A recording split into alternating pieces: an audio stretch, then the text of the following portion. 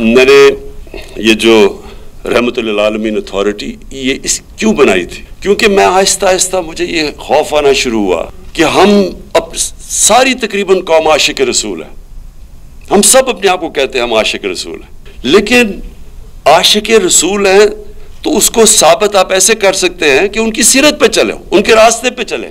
उनका रास्ता किधर है? कौम किस तरफ़ जा रही है? ये जो हरकतें हैं ये जो भी आपने अगर उनकी ज़िंदगी, उनकी पूरी तारीख पढ़ लें, उनकी ज़िंदगी पढ़ लें, उनकी सीरत समझ लें, कोई भी ऐसी हरकतें ना करे उस माशरे में। इसलिए हमने रहमतमीन अथॉरिटी बनाई कि अपने उलमा को सबको इकट्ठा करें, एक सारों को स्कॉलर्स को इकट्ठा करें, और एक मुल्क के अंदर अपने बच्चों को कॉलेजेस में डिबेट्स करवाएँ। उनकी ज़िंदगी की तो बताएँ कि उनकी ज़िंदगी थी क्या?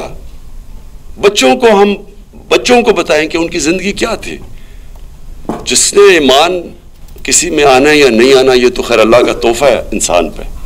लेकिन कम अज़ कम हम माशरा बता तो सके अपने लोगों को कि वो उनकी ज़िंदगी थी क्या।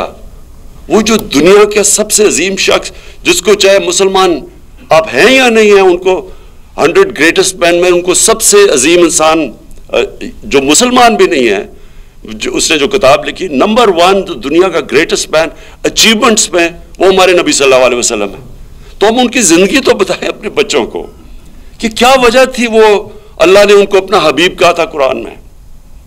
क्या वजह थी कि अल्लाह ने सब इंसानों के लिए उनको कहा था कि ये रहमत बन के आए हैं? तो स्टडी तो करें उसको। और वो हम, जब हम करेंगे तो ये जो नफरतें फैलाते हैं हम अपने, तकसीम करते हैं लोगों को। वो फलाना काफ़र है वो उसके ऊपर फतवे लगा देते हैं।